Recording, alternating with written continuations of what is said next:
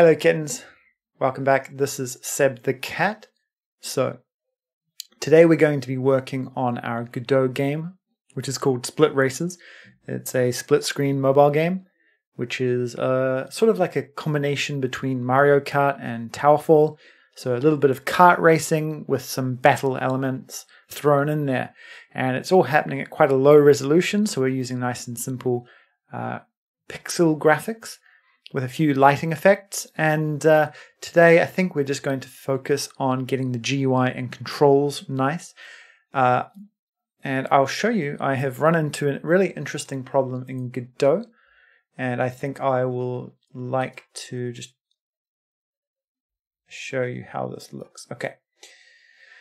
So, in my rework of the uh, GUI, um, I started thinking I could set up a um, a UI action on my buttons.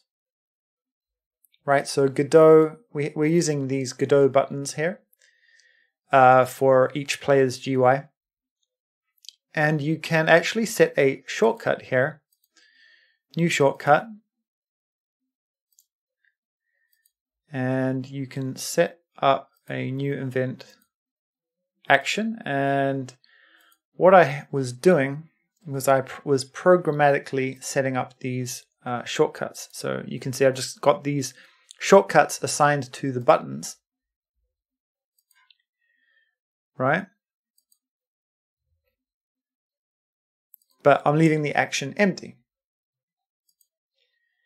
Now, what I'm then doing,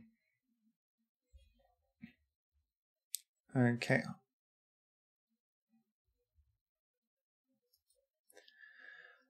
What I'm then doing is inside the controls, I add these actions programmatically depending on the player number for each control. Right, but that actually gets us quite an interesting little bug. Collect stars and weapons. See, if I use the player one controls, I'm now getting nothing. But the player 2 controls are now getting both actions. Right? And you can see the buttons are triggering as I push the keys, but they're actually triggering for both players. So what's happening here? Uh, it confused me for a little while, and then what I realized is each instance of my control scene is sharing the same shortcut.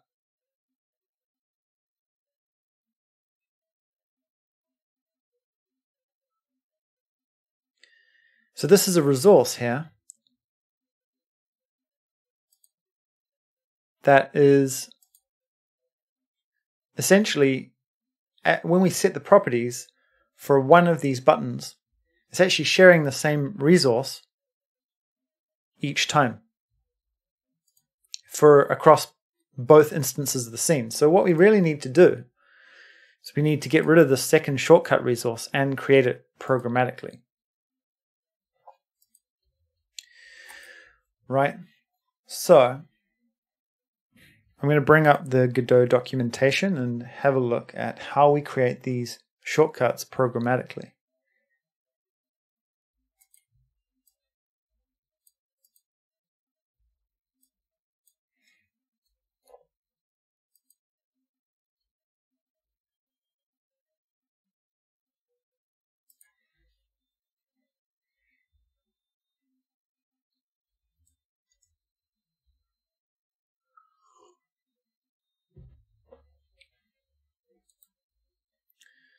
Okay, so I believe this is going to be uh, a property of the base button. And we've got a shortcut here.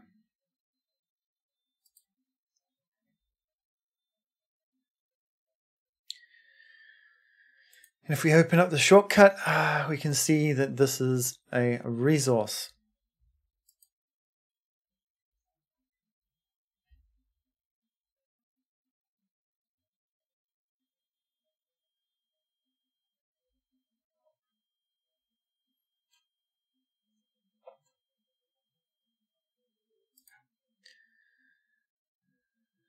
Okay, so what I think we need to do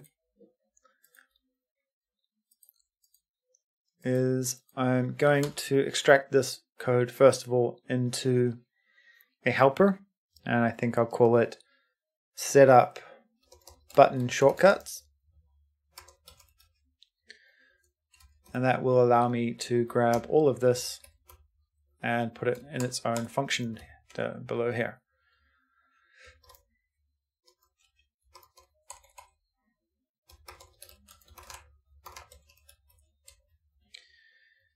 Okay, and let's go back up to there and fix that. Okay, cool.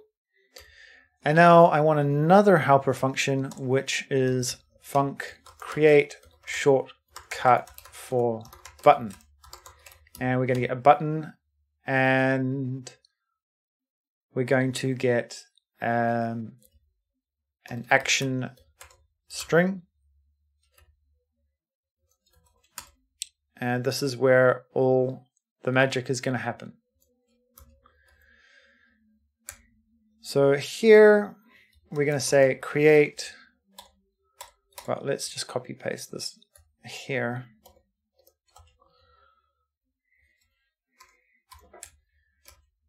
So for our shoot button, it's always going to be shoot.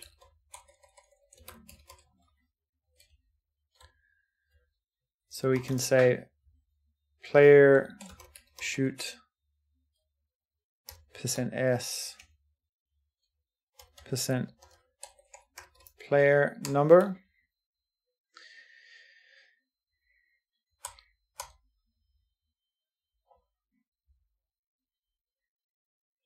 and we'll do the same thing for these other buttons as well.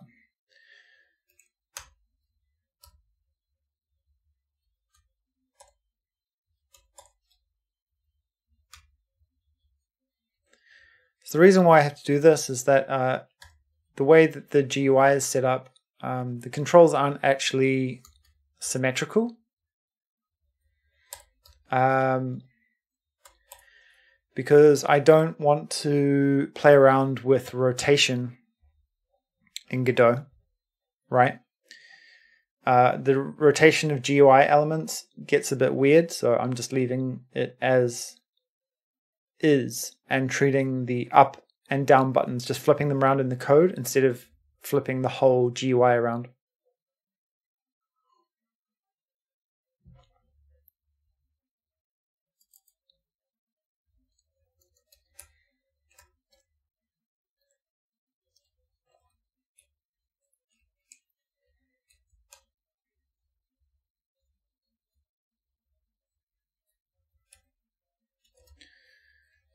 Okay.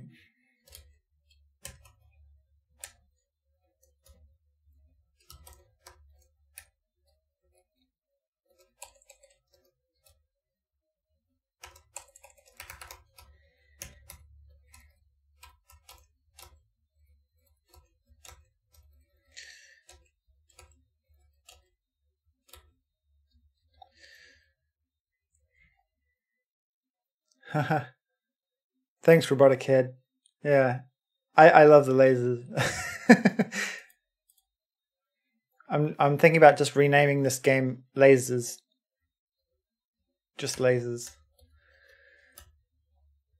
Okay, so now we have a generic way for us to uh, implement a shortcut on our buttons, right?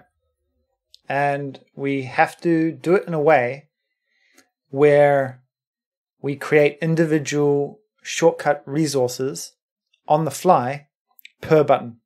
Otherwise, the actions will be duplicated across both players, and we definitely don't want that. Cool. So I wonder if we actually just create the shortcut from scratch as well. So if we just refresh all of these buttons without their shortcuts.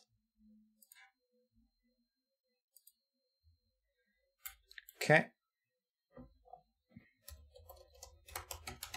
So we can say, I think we can say new shortcut. Uh,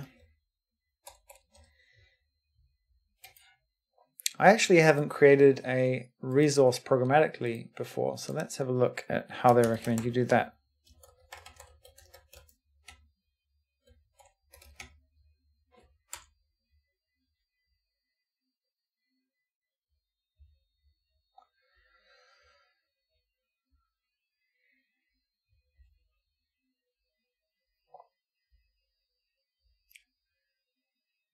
Okay.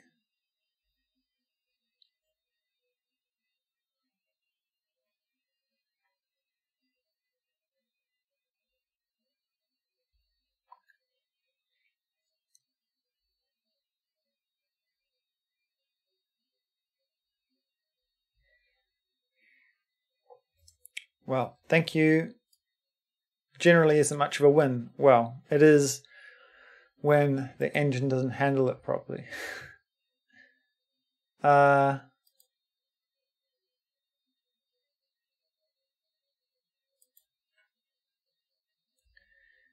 okay.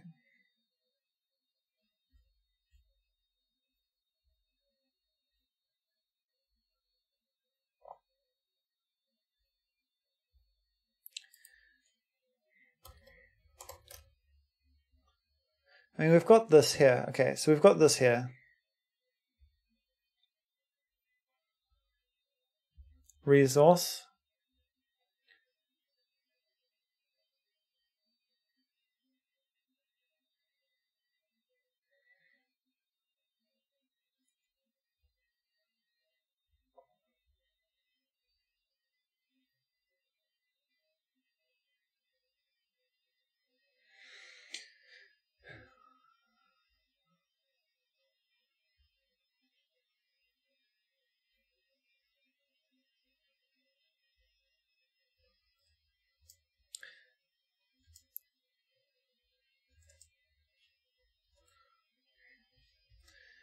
Huh. Okay. So I'm trying to think. Um, Godot programmatically create shortcut.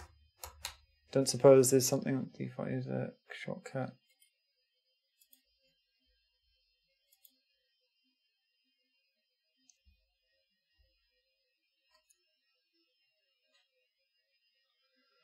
Oh, that's fantastic. that's that's in 2008. 18. All right, looks like it's closed.